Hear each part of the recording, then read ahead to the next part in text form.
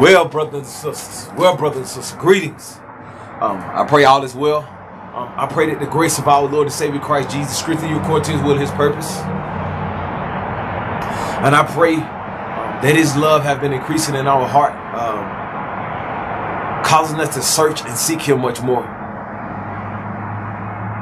I pray that in everything that we've been learning, that it been teaching us and strengthening us to fight against the temptation to try to control us and, and try to make it make us submit to the things of this life to make us conform to this world.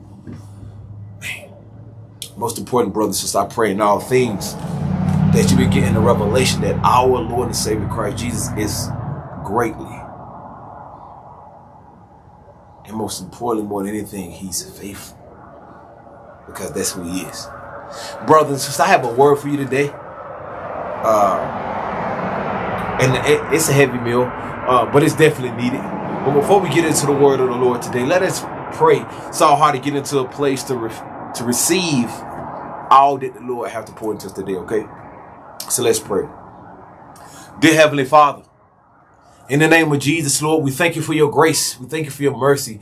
We thank you for your sacrifice. We thank you for your holiness that lead us to righteousness in you. Lord, take us deeper today, Lord.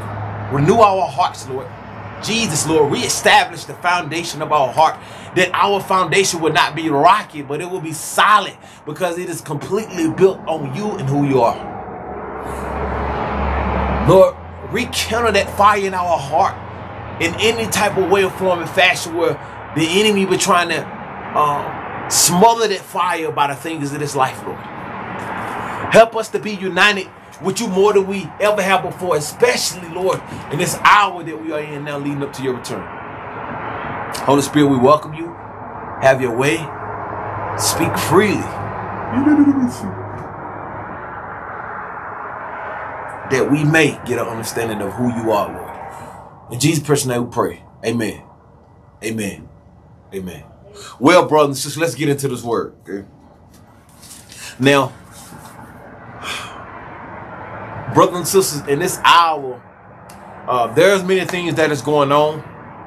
There's many things that are said, but there are many things that are not said.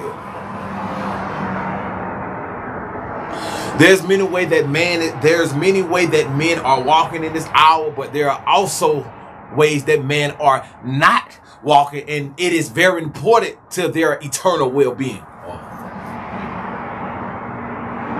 And so often in this life, instead of running into the light, we'll rather hide in darkness because I've been there before. I know what it's like before the cross to want to hide in darkness because I'm afraid of coming into the light because the light exposed things that would not normally be seen. The light that is in Christ exposed things that would not normally be seen. That's why Jesus said, Men Lord darkness instead of light because they're afraid if they come into the light, their deeds would be exposed.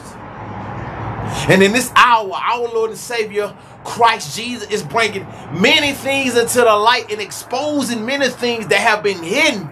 Most importantly, most importantly, the greatest thing that will be exposed in this hour leading up to his second coming is his testimony and a revelation that he is God.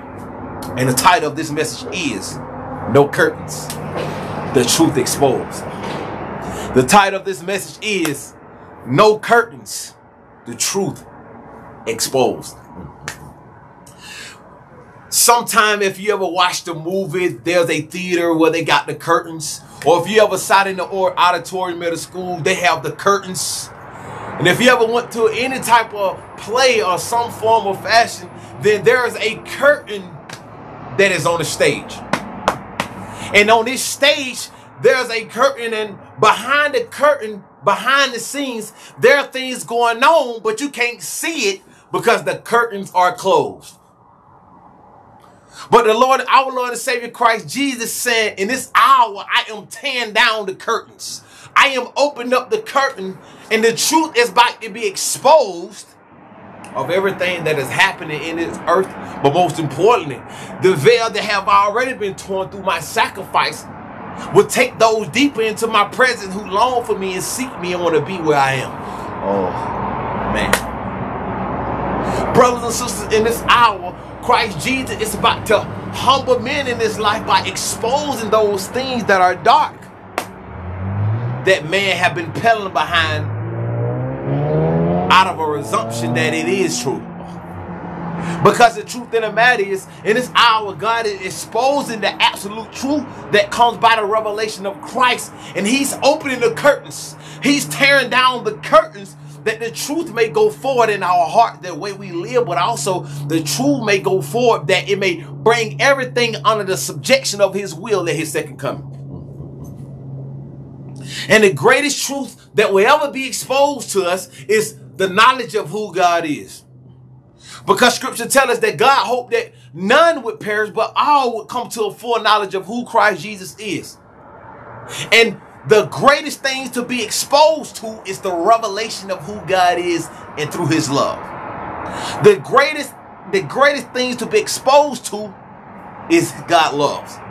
And in this hour, God is shaking this earth, shaking this world to tear down the curtains that have been over our eyes.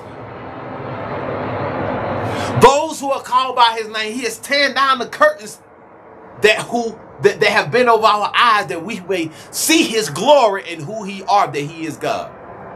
But those who walk in their pride, the plot, the pride will keep curtains on their eyes because they choose to not see the truth that God is saying. The Lord said, the Lord woke me up in the vision. The Lord said, son, only those who live by my instruction will escape in this hour. For in the book of Revelation, it says that there was a spirit that came out and tormented man for five months. Well, in this hour, there's a spirit that's finna come into the earth and torment man for a short period of time, those who do not love the truth. And only those who live Jesus, only those who live by the glory of God will be protected from this spirit that would torment man for a short period of time through this hour of delusion. Why? Because God is tearing down the curtains and revealing those who are his children and those who are not. Okay? So what do we say, church? Let us be exposed to the truth by the renewing of our mind being being transformed into the posture of Christ. That in all things we may live as he did. And as we live as we did we did we follow the we, we run to the feet of the father by submitting ourselves through the testimony of Christ Jesus. For no man has seen the father except for Christ. So therefore in order for us to to be submitted to the feet of the Father, we must live by the testimony of his son Jesus. In order for us to be submitted to the feet of the Father, we must be obedient to the testimony of his son. For God created the earth and the earth is his footstool. Therefore, as we obey the testimony of Christ Jesus, it's like we're sitting at the feet of the Father. As we obey the testimony of Christ Jesus, it's like we physically sitting at the feet of the Father that when we be received up, when he come, we already have a place at his feet because we have already been sitting there in the spirit. Oh, man. Church, we are a spiritual city. Therefore, as we live by the Spirit now, when we get to the spiritual kingdom that lives and dwells forever, we will already have a place at his feet because we have already been sitting there in the Spirit. Oh. As we walk by the Holy Spirit in this life, the kingdom to come, we are already seated at his feet because we have trusted what he said about preparing a place for us. So as Jesus had went ahead of us and prepared a place in his father's house because he said in his father's house is many mansions. Okay? I remember our Lord and Savior Christ Jesus took me in the spirit and as he took me in the spirit, I seen beautiful houses lined up on the right side of the street. It was bright outside, but there's no sun there. It was so peaceful that you could sleep in the middle of the street. And I asked the Lord Jesus, Lord, what of those beautiful houses lined up on the right side of the street? He said, son, remember it was written in my father's house is many matches. Well, why is it bright outside, Lord, but there's no sun there? He said, son, because the new heaven and new earth, there will be no sun because I am the light of heaven. Well, Lord, why is it so peaceful in the street? Because there will be no corruption. There will be no sin in my glory. Therefore, in order for us to experience that glory, we have to live beyond the curtains of this life. In order for us to see his glory, we must live beyond the curtains of this life because his sacrifice torn the veil that separated us from his presence. Oh. And as we live that way, his truth is exposed in our heart. And therefore, we live by the Spirit. And as we live by the Spirit who hovers over the eternal kingdom, then as we live that way in this life, then we are already sitting in a place that is prepared for us in his kingdom. So what do we say? As we live by his glory in this life, it gives us access to the mansion, the place that he prepared for us in his kingdom through the sacrifice of his son Jesus. Brothers and sisters, everything we do is preparing us for the place that we will reign that with Christ. Therefore, as we live by the Spirit in this life, we are sitting in the place that we will be that we will rest at in his glory forever. That's why it's important that you have a relationship with Jesus now, that when you be received up, when he come, you have already been sealed eternally with him, but also your place is secured by his feet because you made your placement by the way you live here. Oh, by what? The sacrifice of his testimony. Why? Because as we live by the gospel, it tear down the curtains and the deception of this life that we may walk in the presence of God through the veil that have been torn through the blood of his sacrifice. Oh, man. Next, Ezekiel chapter 22, verses 29 through 31. Ezekiel chapter 22, verses 29 through 31.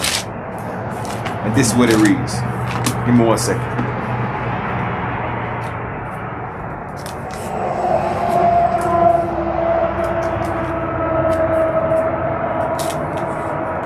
29 through 31. Watch it. It says, while they Ammonite prophets uh, see false see false visions of peace for you, while they divine lies of escape for you to place. Oh, excuse me.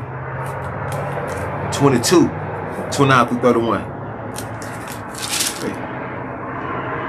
The Holy Spirit just says to me, even by reading this scripture, that there will be many false prophets that rise up, rise up in this hour, having false vision, not true vision. There is true prophets that have true vision, but there will be also false prophets that having false vision through the through divination of the spirit of the Antichrist to lead the people of God astray.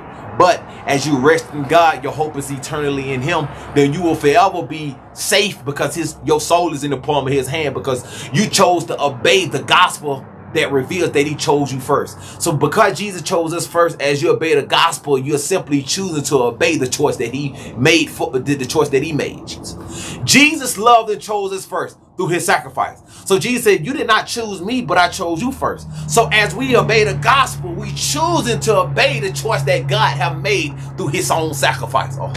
And as we choose to obey what he made, the truth will, as we choose to obey the choice that he made by choosing us first, we saying, Father, we submit to your will. Oh. Why?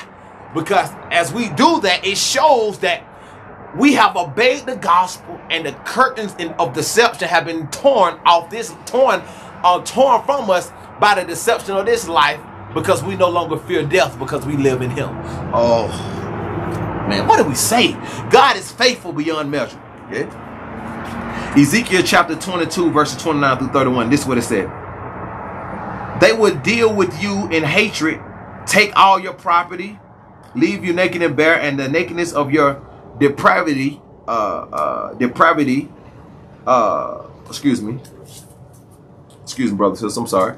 22, 22, um, 29 through 31. It says, those people of the land have practiced oppression and extortion and have committed robbery. They have wronged the poor and needy, and they have oppressed the stranger without justice. Hear the words of the Lord. He said, I searched for a man among them who would build up the wall and stand up in a gap before me for the sake of the land that I would not destroy but I found no one, not even one.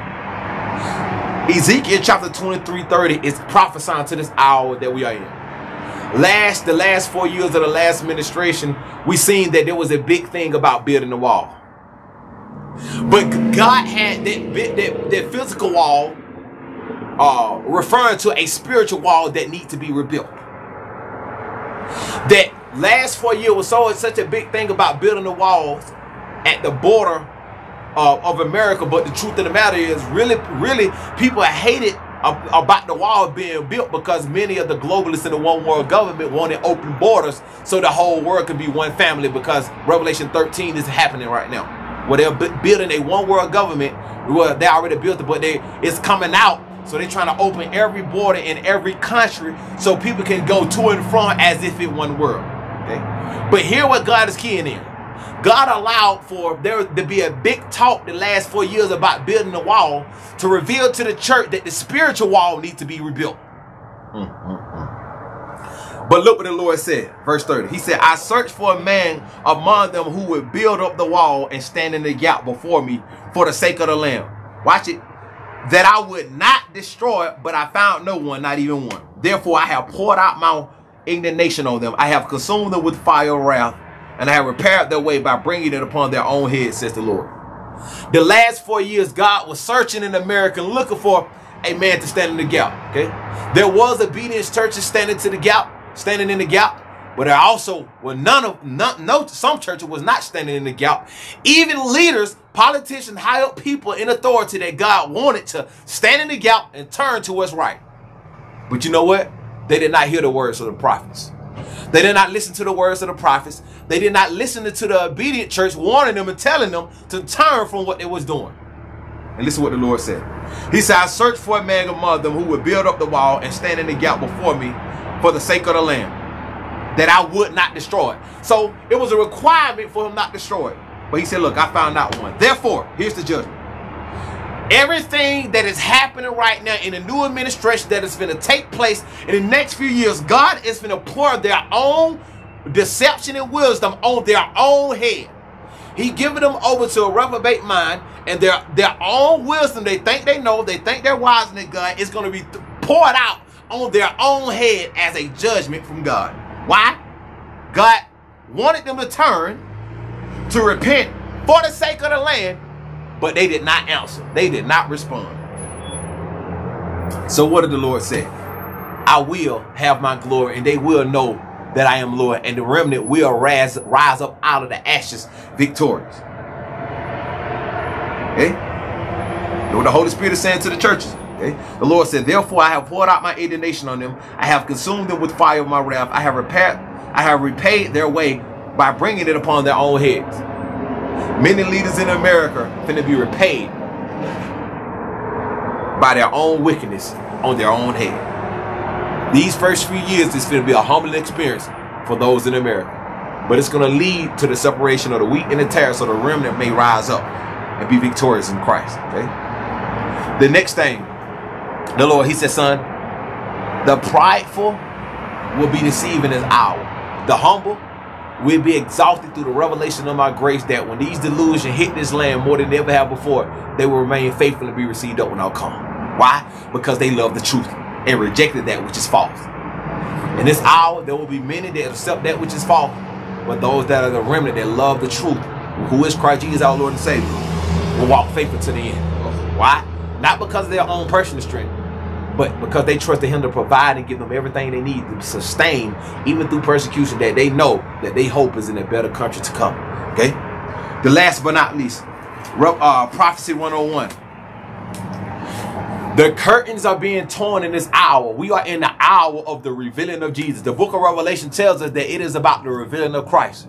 And right now we are in this seven year period leading up to the second coming of Christ Jesus where the curtains, the curtains is being torn down on this world. Right? And Christ Jesus is finna be unveiled at the seventh trumpet. Right? Here's the next thing that's finna happen on God prophetic time clock. And I'm finna read it to you. It's in Revelation 9. Any one of you who are listening right now online, please take note of this. Okay? Begin, leaders who are listening, begin to prepare your flock. Those who are in Christ, begin to prepare your families because this is finna happen next. It's gonna be all over the radios. It's gonna be all on the news. This is finna happen next. The sixth trumpet is about to sound. The sixth trumpet in the book of Revelation is about to sound. It's gonna be all over the radios. It's gonna be all over the news. It's finna happen extremely soon. Okay? So let's read what's finna happen. Revelation 9, 14. It said, saying to the sixth angel who had the trumpet, release the four angels who are bound in the great Euphrates river. So there's finna be a release the four angels who are bound in the great Euphrates River. The Euphrates River is in the Middle East. It runs through Iraq, uh, Iran, Syria, and Turkey. That's going to be four spirits, right? Four spirits, right? That's going to be uh, released by, from the uh, Great Euphrates River, and it's going to be a war that's going to wipe out a third of mankind. Let me let me read it. Okay? Don't be fearful, church, because Jesus is with us. But you have to know these things and not turn a blind eye. So when it happens, you won't be afraid or not caught off guard. But this finna happen extremely soon. That's all I finna, the, the Holy Spirit want me to say. This is finna happen extremely soon. It's not far, far off. This is finna happen extremely soon. Be prepared for it because it's gonna be talked on all the radios, across the intercoms in schools, all around the world. The sixth trumpet war is World War III. World War III is about to happen. Watch it. It says, saying to the sixth angel who had the trumpet released, the four angels are bound in the great Euphrates River. So the four angels who had been prepared for a appointed hour and day and month and year were released to kill a third of mankind. The number of troops of cavalry was twice 10,000, 10,000. There's finna be a 200 million man army and the whole world will be engulfed in this war. Okay? Okay? They said, and this is how I saw the horses and their riders in my vision. The riders had blessed plates, the color of fire and of hyacinth, sapphire blue, and brimstone and yellow. And the heads of the horses looked like the heads of lions, and from out of their mouths campfire and smoke and brimstone burning sulfur. A third of mankind was killed by these plagues, by the fire, the smoke, and the brimstone that came from the mouths of the horses. For the power, the power of the horses to do harm is in their mouth and their tails, for their tails are like serpents in their head, and it was with them to do harm. Okay? The rest of the mankind who were not killed by these plagues did not repent, Jesus, even of their works of their hand, so as to ease, so as to see worshiping and paying homage to the demons and the idols and gold and silver and a bronze and a stone and of wood, which can neither see nor hear nor walk, and they did not repent of the murders nor the sorceries, the drug intoxication, nor their sexual immorality. Okay. So these four angels, because the heart of man is prideful, these four angels is going to be released from the from the great uh, you're afraid Euphrates River, and it's going to reveal the pride in man's heart. Because if they were humble, they would not be deceived. If they was humble, they would not be deceived. These four angels is going to be released from the great fury free radio and it's going to reveal the pride of man's heart to the point where there's going to be a World War III that's going to wipe, wipe out over 2 billion people because of the pride of man's heart. Why? Because they rejected the truth that come from God. They did not want to listen to God. And therefore, God said, I will allow strong de delusion, send a strong delusion in the earth to reveal that y'all rejected my teaching, that you did not love the truth. Okay? What the Holy Spirit saying to the churches. This is finna happen extremely soon. Hear, what the Holy Spirit is saying to the church, brothers sisters. This is not something that's finna happen far off in the different, different futures. This is right, right outside your door. So be preparing your family right now. Okay? What the Holy Spirit said to the churches. Be preparing your families right now because this is finna be over the intercoms in the schools. This is finna be all over the radio where you're to hear it, cross the news, cross the radio, when they're to be able to say World War Three. They're to be like, fire is everywhere. Flames are everywhere. World War Three. That's to be the talk on the radio. They're to be like, it's fire everywhere. World War Three. Which is Revelation 9.14, which is the sixth trumpet. That is to happen soon where over 2.5 billion people will be wiped out because of the pride of man. Okay? God said this hour I will send a strong delusion. The sixth trumpet is about to be sound. World War III is about to happen. Prepare your families. Okay? God is tearing down the curtains off this world. Everything is leading to his second coming. And he's going to purge all unrighteousness, all sin. So the Lord wanted me to share that with you, brothers and sisters, to warn y'all on, warn on what's going to take place. Let it marinate in your heart. Don't be fearful, but know that God got us. But you have to know that these things are going to happen because some people are going to see these things and be afraid because they will not expect it. This is finna happen extremely soon. I'm talking about next. This is the next things to happen on God prophetic time clock. The next things.